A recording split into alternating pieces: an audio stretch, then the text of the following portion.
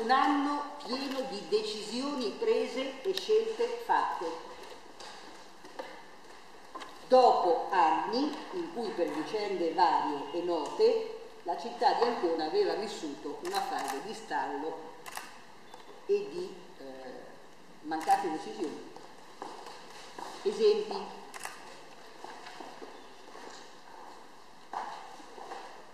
Eh, messa in sicurezza del bilancio dopo i pesanti rilievi della Corte dei Conti e dopo l'emersione ad agosto del 2013, cioè a un, anno, a un mese dopo l'insediamento di questa nuova amministrazione, di un debito fuori bilancio ulteriore rispetto a quelli già noti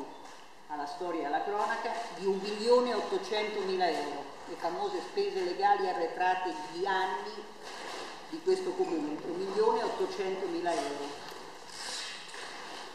Quindi abbiamo innanzitutto preso iniziative per rispondere con i fatti, con scelte amministrative ai rilievi che la Corte dei Conti sezione controllo aveva fatto nel 2012-2013 al Comune di Ancona. Ripeto, eh, messa in sicurezza e copertura dei debiti fuori bilancio, quindi significa trovare le risorse, i soldi per i debiti fuori bilancio, eh, cessazione della emorragia delle perdite per le fondazioni teatrali,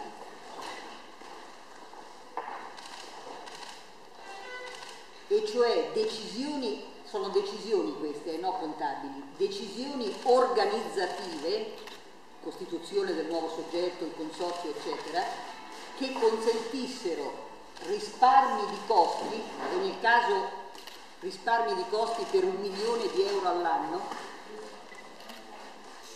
appunto per fermare l'emorragia delle perdite. La Fondazione Muse ha chiuso il 2013 inutile. Siamo intervenuti sulle partecipate, quelle eh, diciamo, che presentavano criticità da questo punto di vista come segnalate dalla stessa Corte dei Conti, e cioè Ancona Ambiente e Conero Mus, facendo anche qui operazioni sia sul, sulla governance, cioè sulla nomina di consigli di amministrazione con un mandato preciso. Non a caso a Conero Bus il presidente è un uomo d'azienda che ha sempre lavorato con aziende private e nel consiglio di amministrazione sono stati inseriti accanto a persone di esperienza amministrativa e che rappresentassero diciamo, la volontà dell'amministrazione altre persone, oltre al Presidente, altre persone con forti esperienze manageriali. Stessa cosa per Ancona Ambiente, in cui è stato indicato come amministratore delegato l'ingegner Ciossi e con mandato di eh, ristrutturazione di queste aziende per quanto riguarda Coro Robussi con il mandato della chiusura in pareggio per il 2014 e per quanto riguarda ancora ambiente con il progetto della eh, confluenza in unica provinciale di multiservizi della gestione ambientale.